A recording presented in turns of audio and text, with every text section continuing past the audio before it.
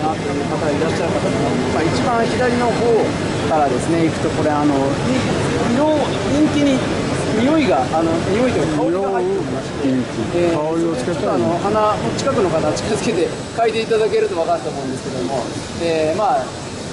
匂いというのは非常にですね強い武器というふうに言われておりまして、まあ、レスポンスレートを上げる意味でもですねこの陰菌に匂いを入れるといったところの開発も進んでおります。えーそれからですね、 self expanding ink という、もともとですね、透明インキの盛り上げっていったところをやってました、その盛り上げにですね、えーとあるあの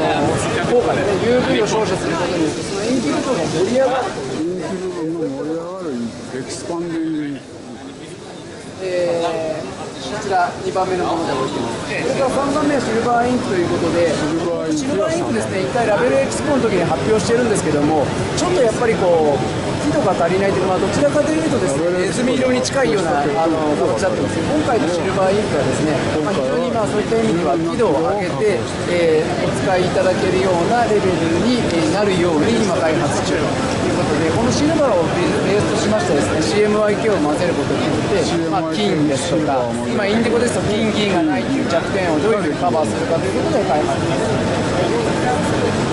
えーそれからですね、あのデジタルレンチキュラーレンズということで、こちらもですね、あのまあ、スポットでレンチキュラー効果を出すようなですね、レンチキュラー効果を出すようなこちらに紹介してございます。えーそれからこういう、えー、 conductive ink ということですね、これも非常に、えーえーまあ、次世代感があるといったらにですね、あのグラフィックですね、あのconductive ink ですね、あの conductive in conductive 層でこのいわゆるあの触覚触ることによってですね、そこにカーボンナノチューブの素子が入ってまして、その刺激が電子的に伝わって、こういうふうに押すとですね、押すと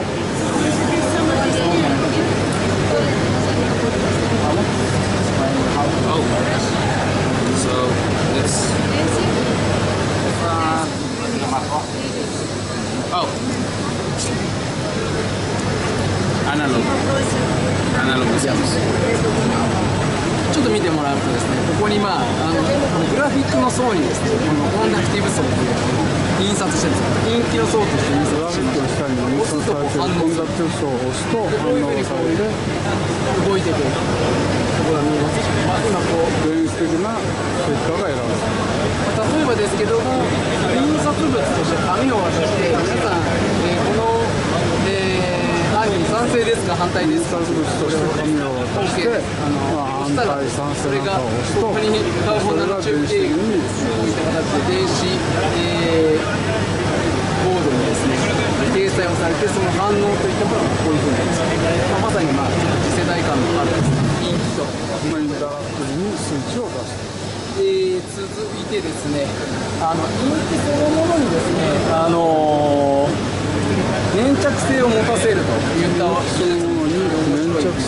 まあ、普通のインディゴで印刷して当たり外れといったこういったくじみたいな形で印刷をした後に、えーその上にすぐインディゴでまたカラーを入れてしまいますと、あのースクラッチできないんですよ。重ね間の層にですね、えーこの透明な、えー粘着性のあるインキ層を持つことによって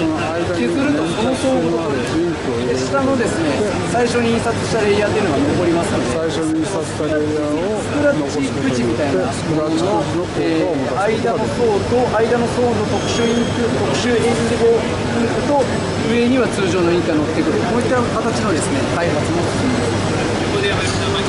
重ね塗りすることによってスクラッチと同じことができるあの温度に反応するという今私が手で、えーこういう形で持っているのが見えるかと思いますこれ手を離すと分かりますしょうかちょっと片手でやってると何とも触って温度がかかるとですねこういった形で白温度がかかると白くなる今あのこちらにですね面白いいろいろ実験やっていまして今あのーお見せできないんですけどお湯を入れるとですねこの紙コップの色が変わる。でまた氷水を入れると変わる。まあこういうことがですね、えー今そういった印刷をすることができる